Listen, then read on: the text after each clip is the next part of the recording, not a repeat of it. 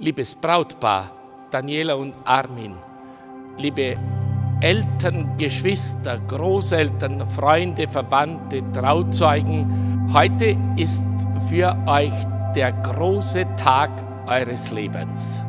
Den Wunsch, den wir im Evangelium verkündet haben, der möge fürs ganze Leben für euch gelten. Geht mit Freude diesen Weg an und bleibt frohe Menschen. Liebes Brautpaar, wir wünschen euch für eure Zukunft alles, alles Gute. Möge die griechische Parze möglichst lange den Spinnfaden in den Händen halten.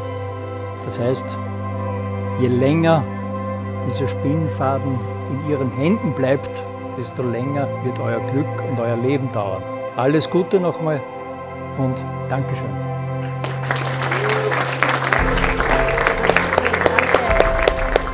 Wie der Herr euch vergeben hat, so vergebt auch ihr. Vor allem aber liebt einander, denn die Liebe ist das Band, das alles zusammenhält und vollkommen macht.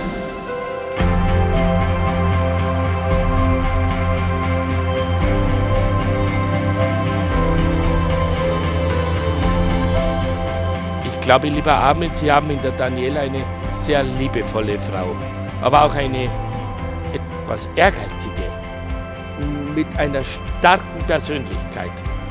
Aber das finde ich gut. Und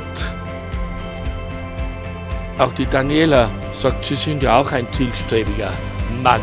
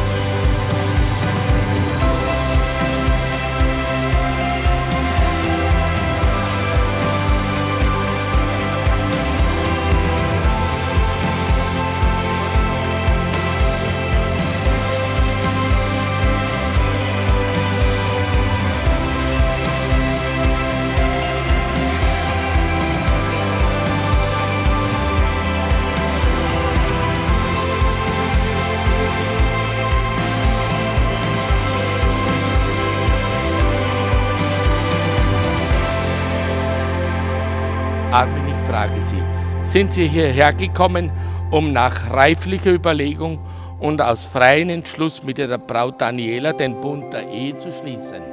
Ja, Wollen Sie Ihre Frau lieben, achten und ehren und ihr die Treue halten alle Tage Ihres Lebens? ja, Daniela, ich frage auch Sie, sind Sie hierher gekommen, um nach reiflicher Überlegung und aus freiem Entschluss mit Ihrem Bräutigam Armin den Bund der Ehe zu schließen? Ja, Wollen Sie Ihren Mann lieben und achten und ehren und ihm die Treue halten alle Tage Ihres Lebens? ja, Was Gott verbunden hat, das darf der Mensch nicht trennen.